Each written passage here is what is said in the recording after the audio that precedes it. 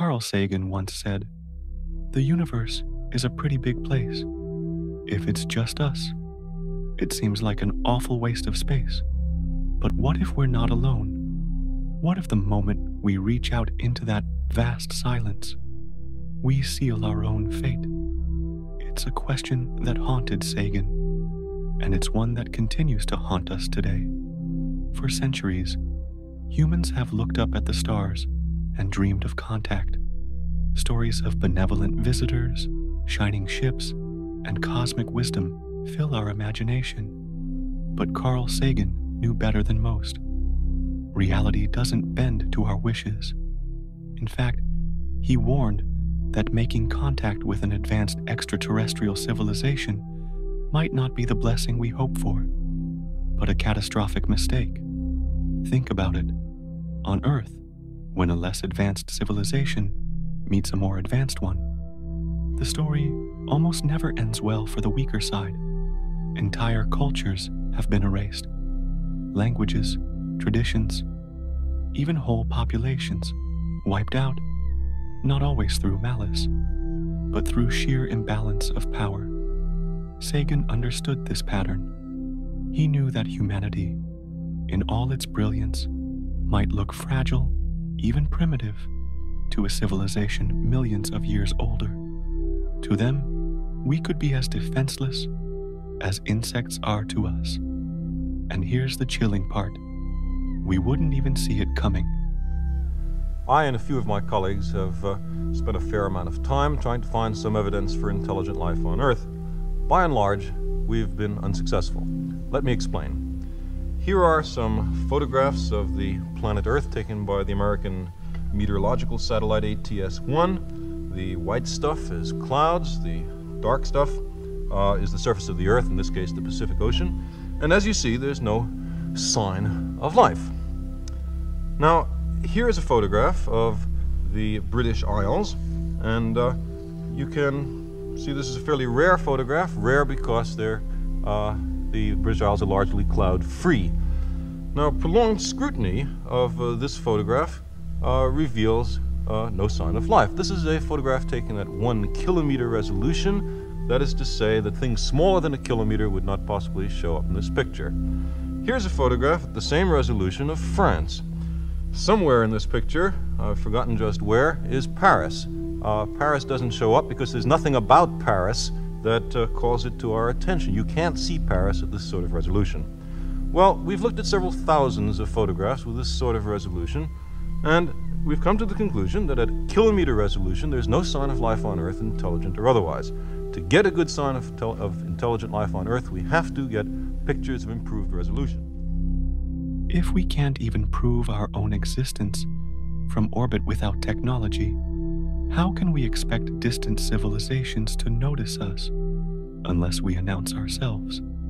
And announce ourselves, we already have. We've been leaking signals into the cosmos for over a century. Radio and television waves drift outward, carrying fragments of our lives. The famous Arecibo message went further deliberately encoding our DNA, our location, even a cosmic greeting card. To us, it was pride. To someone listening, it could be bait. It is a mind reeling thought to think of the, the information that might one day come, come fluttering through our radio telescopes from an advanced civilization somewhere else. Any communication, I think, will be mostly from them to us because they will have very little to learn from us and probably an enormous amount to teach us, not just in areas of science, but in other areas, some of which we can only dimly guess at today. I don't share George Wald's fears that such a contact would be a disaster. I, I think rather it's a supreme opportunity to learn something. But in any case, we, we can't hold back. We've already communicated our presence to the universe because about 30 or 40 light years away from the Earth, there's a wave front of electromagnetic radiation which is moving away from us at the speed of light. This is the result of our first large scale radio communications back in the 20s and 30s, and there's no holding that back. That indicates our presence. We've already communicated our presence to the universe. Now, we have before seen the difficulty in determining the presence of life on Earth photographically. Were we on Mars, just the same difficulty would, would be the case, but there'd be an easy way to detect life on Earth from Mars. You'd construct a small, modest radio telescope pointed at the Earth, and when the North American continent turned around towards Mars, there'd be this blast of radio emission, which uh, would certainly not be totally random noise, due to domestic television transmission on Earth.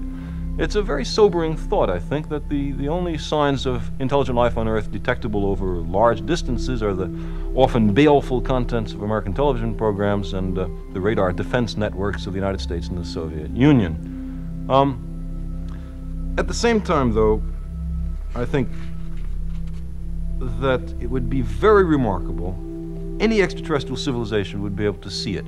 It's only in the last 40 years that the radio uh, brightness of the Earth increased, and now it's increased at such a rate that at some radio frequencies the Earth is brighter than the Sun. They would conclude that something extraordinary had certainly happened in the vicinity of the Earth. Sagan often reminded us if contact happens, it likely won't be us speaking first, it will be them. Any species advanced enough to cross the abyss of space would find us long before we ever found them.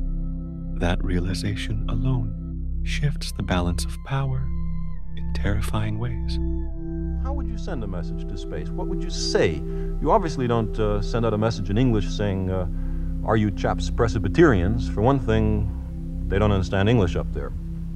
There has to be some method of communication which both the sending and the receiving civilization have in common and doesn't depend on the vagaries of the languages at either end of the communication link.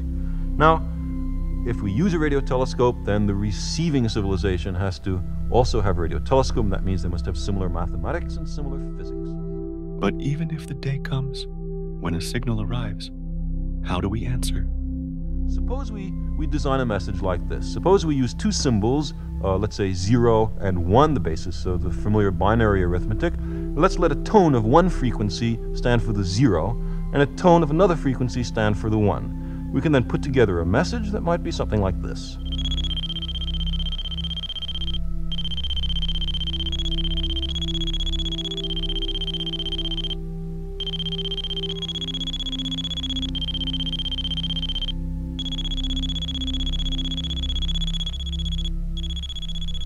Well, we can't make uh, much sense of this message just yet, but we do notice that the message is repeated in several groups.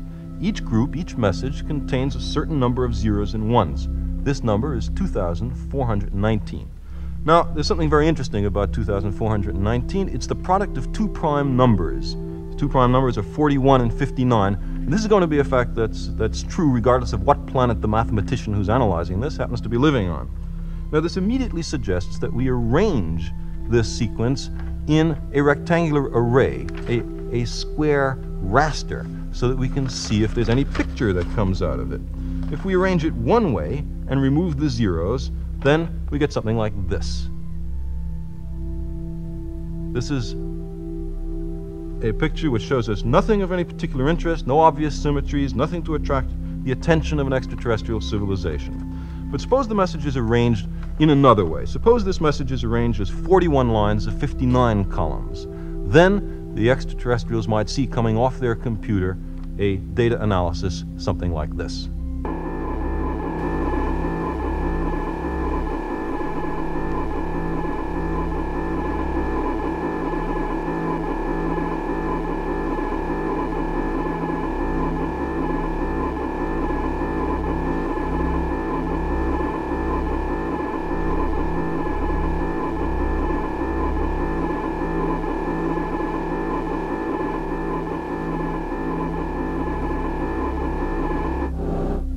We see a man, at least recognizably a man to us.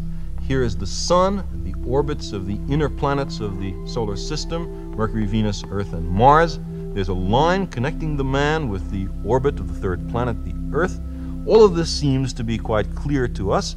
There are some things which might not be clear to everybody on Earth. For example, this uh, sequence of numbers here uh, 2, 8, 18, and 32 but certainly, even an extraterrestrial with no prior familiarity with what people look like would be struck by the enormous order and symmetry of such a picture. It could not fail but, but to call attention to it.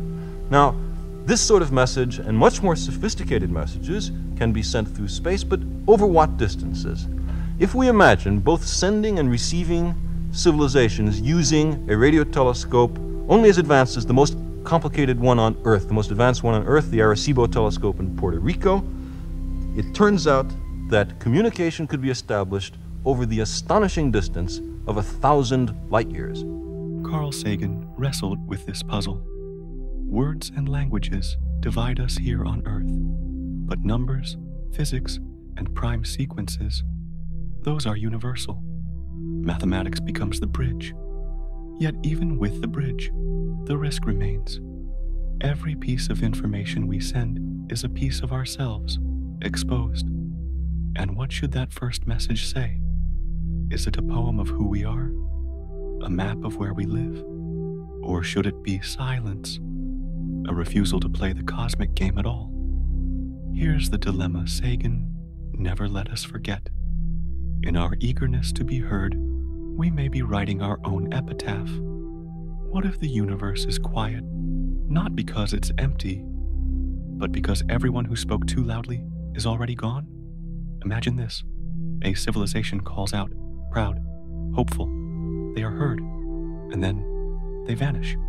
Not by accident, but by design. The silence of the cosmos may not be absence, but warning. And yet, we keep sending signals.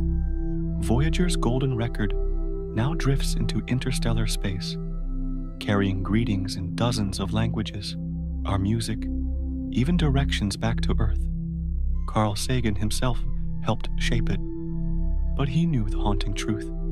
It might be the most dangerous invitation ever sent. So here we are, suspended on a pale blue dot, caught between wonder and dread. Do we remain quiet forever, terrified of what might hear us? Or do we embrace the risk, knowing the answer could change everything or end everything? Carl Sagan left us with both hope and warning. His words echo like a ghost in the void. For small creatures such as we, the vastness is bearable only through love. But love may not be enough. And so we wait, in silence and in fear, asking the question that has no safe answer. When the universe finally answers back, will it be the voice of a friend or the last sound humanity ever hears? What did you think about today's journey? Let me know your thoughts in the comments below. I read every single one. If you enjoyed this video, make sure to hit that subscribe button and turn on notifications so you don't miss what's coming next. We've got more strange, unsettling, and fascinating stories from the universe headed your way. Until then, stay safe and stay curious.